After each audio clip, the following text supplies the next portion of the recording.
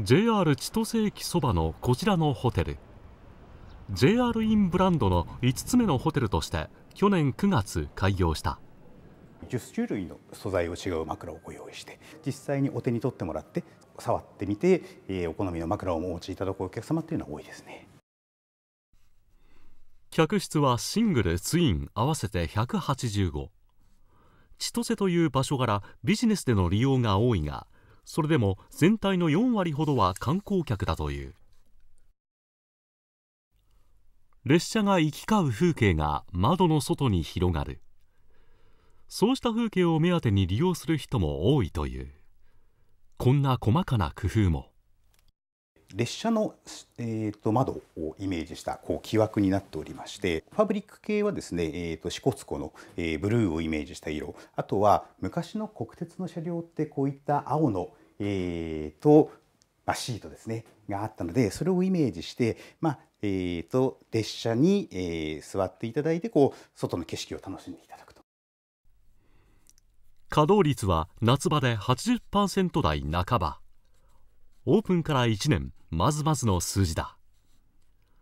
JR 北海道はこのホテル事業を赤字を補う新たな収益の柱と位置づけている。2008年に宿泊型と宿泊特化型ホテルというところで、まあ、投資採算性の高い、まあ、ホテルの開発ということで、まあ、1号店札幌駅のところに出したんですけど。1号店オープンから10年余り。今では札幌に2棟千歳と旭川帯広にそれぞれ1棟を展開。来年には函館札幌と相次いでオープンする予定だ。ホテル事業の昨年度の売上は82億円。鉄道事業以外の売上のおよそ1割を占める。宿泊需要だとかあるいは地域の特性だとかっていうところを、まあ、総合的にこう考えながらですねまあ、事業性というのも当然ございますので、まあ、その辺を総合的に考えながらですね今後の出店計画の方は考えていきたいなと。北海道ナンバーワンのホテルチェーンを目指す JR 北海道北海道新幹線の札幌開業までにホテルの数を今の倍以上にし売上200億円突破を目標に据える。去年新たな装いとなった JR 苗穂駅。その真横で今 JR 北海道としては初となる分譲マンションの建設が進む。マンションは27階建てで全300室。大手デベロッパーの大京住友不動産と共同開発する。鉄道会社が今なぜマンション事業に？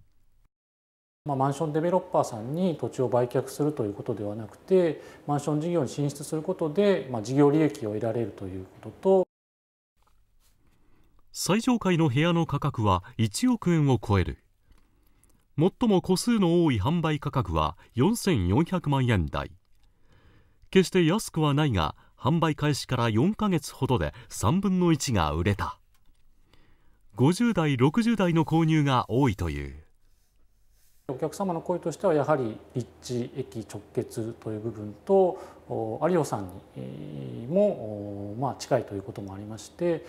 そこの立地の部分が高評価をいただいております。JR 地元の企業ということで、まあ、安心されるという声も聞いております。完成は再来年1月。マンションと苗穂駅商業施設の有オ札幌は通路で結ばれ雨や風にさらされずに相互に行き来できるようになる。向かい側の敷地には将来病院が。鉄道会社ならではの好条件の立地を強みに順調に滑り出したマンション事業。これが最初の物件ですので今まさにまあ勉強をしているところで今後まあ具体的にはまだ決まってないんですけれどもマンションも含めてですね、まあ、住居系の開発ですとかいろいろな開発を具体的に検討していきたい JR といえばマンションというふうに言われたいななんて思われますか？うんそうそうそうなればまああのいいかなとは思ってます。